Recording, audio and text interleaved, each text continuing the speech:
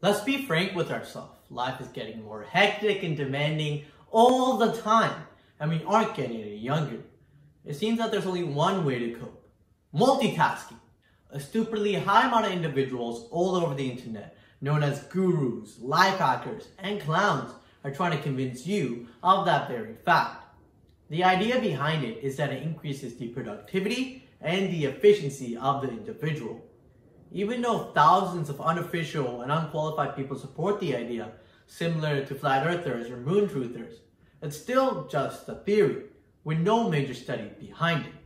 Ironically, the whole concept can be compared to juggling balls. Juggling one ball or one task is relatively easy and simple for your brain to focus on. Two balls split your brain focus, making one have more mistakes. And three or more balls is chaotic and it's going to be a mess, no matter how good one is initially. Now, to truly debunk the false idea of multitasking, let's start off with one ball and talk about what is multitasking and what happens within our brain.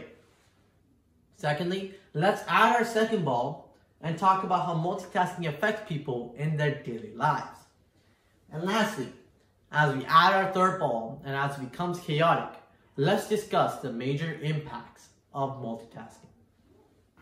Now then, as we throw our very first ball up into the air, let's ask the question, what is multitasking? According to journalist Kristen Rosen, the term was first used in the 1960s to describe computer performance. The human brain, however, is not a computer, and the definition changed with it over time. Today, multitasking can be defined as the ability to do multiple things simultaneously by Cambridge Dictionary, and is typically used to describe human beings. Moreover, unlike computers, human brain has a very small attention span. In fact, the APA or American Psychological Association model visual attention like being like a spotlight. It can only be shown in one direction at any given moment. Our primary focus, what we're paying most attention to, is like the bright lit center of that flashlight. Visual attention can also be modeled as a camera lens. One can choose to narrow in their focus and concentrate on details, or narrow out to be aware of multiple things simultaneously.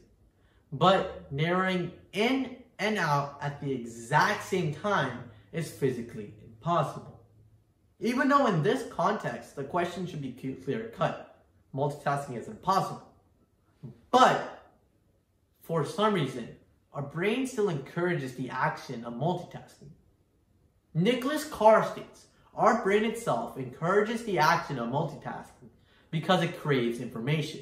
Even though in practicality, it's not that good at processing data at the speed and intensity that we find ourselves today. This is partially due to the fact that our short-term working memory, or working memory for short, has a very small capacity. Working memory essentially is the context of one's consciousness at any given moment. What you're aware of right now is part of your working memory. What you're not aware of, it's not part of your working memory. In general, the whole concept can be described in the 1950s book, The Magical Number 7. In that book, the author states that one's working memory can only hold around seven pieces of information at any given moment whether that be the names of seven different people or a seven digit number. When someone takes in too much information too suddenly, what happens is information starts entering and exiting the brain at the exact same time. Now, this phenomenon causes quite literally cognitive overload. In this situation, someone can't truly think or focus on anything because their brain doesn't have the function or capacity to do so. Now that we know why we multitask and how it affects our brain, let's throw our second ball up into the air and discuss how multitasking affects us in our daily lives. According to those gurus that I mentioned earlier, multitasking can be categorized into three different ways that we use it in a daily routine. First is doing two tasks simultaneously. Second is moving back and forth from one task to another. And lastly, it's doing a number of tasks in rapid succession. Now, most people, including you and me, multitask in one of these forms every single day. Professor McFawn often states that we multitask in a daily routine because we crave information and FOMO. Wait, what's FOMO? FOMO is the fear of missing out. We fear in missing out in tweets, Instagram notifications, text messages, and emails. FOMO is also the reason why most people, including myself, check my Instagram feed while I'm on the toilet or watch cute cat videos during college lectures. Now, because of FOMO, we are constantly connected to the internet through digital distractions that we receive through our smartphone, smartwatches, and computers.